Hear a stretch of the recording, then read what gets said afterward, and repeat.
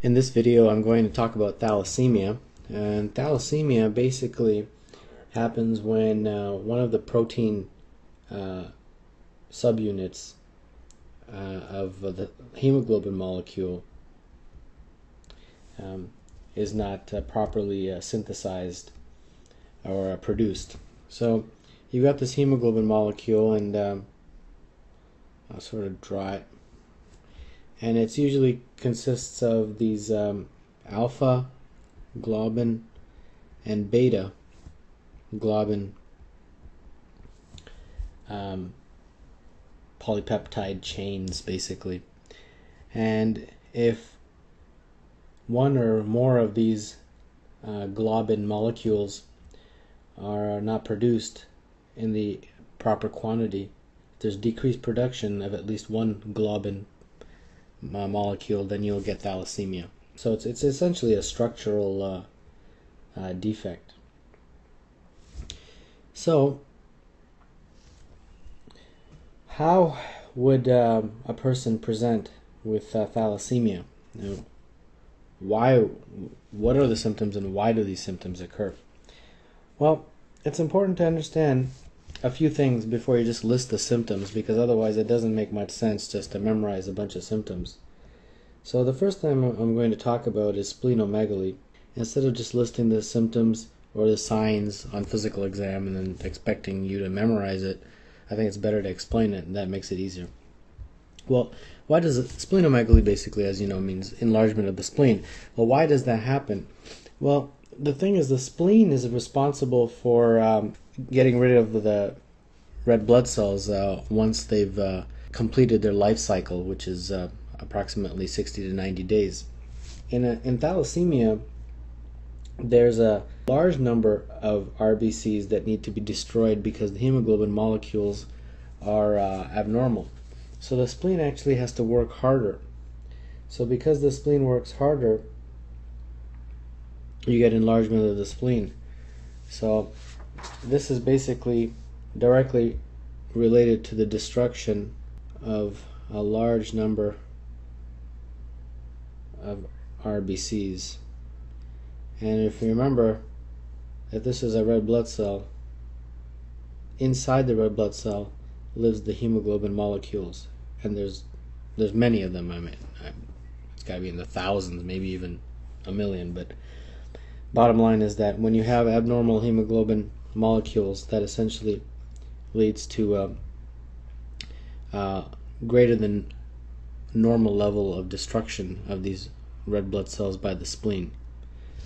And that's why the spleen enlarges because it has to work harder. So that's the first thing. The second uh, uh, symptom or sign is uh, iron overload. Now, why does this happen?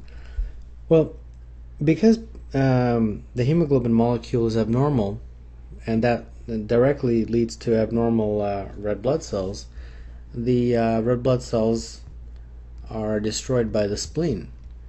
Um, so the patient essentially becomes deficient in red blood cells and becomes anemic. So anemia is a very common uh, finding in, in thalassemia. Now, when a person becomes anemic, they're treated with these transfusions, blood transfusions. And when they're treated with transfusions repeatedly, they develop iron overload. The iron that exists in the blood starts to uh, overload in the body uh, with each transfusion. Every time they're given blood, it contains iron in it, and that iron eventually accumulates and overloads in the body. And that can cause problems because eventually the iron can um, deposit into certain organs and uh, cause um, severe uh, symptomatology. One of the places that it can deposit is in the heart muscle, and that can lead to a heart failure.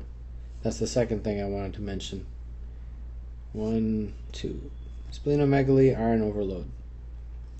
Third thing I wanted to mention in terms of signs and symptoms is uh, bone deformities. So why does bone deformities occur?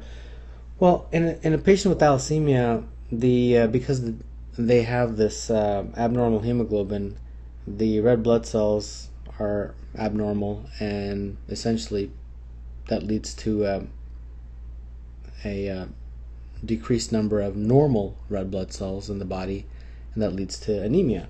So the body responds by uh, wanting to produce more uh, red blood cells or blood cells in particular, and that's when the bone marrow kicks in. And the bone, bone marrow essentially starts to um, have increased level of activity in an attempt to produce more um, blood cells. Now, when that happens, the bone marrow, which, as most of you know, as the name implies, even lives inside the bone, the bone marrow will cause the bones to expand, which causes essentially the bones to widen. And when the bones widen in the body, it causes these bony deformities.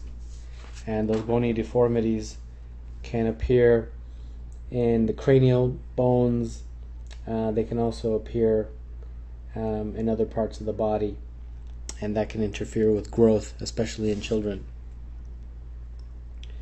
The fourth and final uh, uh, symptom and sign I, I wanted to mention is, I think I just mentioned it, is uh, slowed growth rates. The bony deformities contribute to that, and so does the anemia. You know, the the patient with thalassemia is chronically anemic, um, so that can contribute to the slow growth rates. So, like I said, instead of just memorizing these uh, signs and symptoms, it's important to sort of understand them, and I think that will help you uh, remember on a test. So now, how do you how do you diagnose it? Well, the most common initial test is a CBC, which will give you the hemoglobin count, and the hemoglobin is often quite low. The patient's anemic. Um, let's just say it can be less than six. Um, normal hemoglobin, of course, varies. It's between 12 and 16 in an adult, but if it's that low, less than six, it's obviously very anemic. Another uh, lab test is MCV, and the MCV value tells you what type of anemia, and in particular, uh, thalassemias are microcytic, microcytic anemias. Other basic tests are iron tests, which, which can show iron overload in the body. And these are very basic and non-specific tests that you can use to diagnose anemia. But to diagnose thalassemia in particular, you have to do a special test called hemoglobin electrophoresis. And this test basically um, shows you the uh, elevation of the different types of um, uh, hemoglobin in the body and will make will let you decipher or differentiate between normal hemoglobin and abnormal hemoglobin. So this is really the, the most specific test.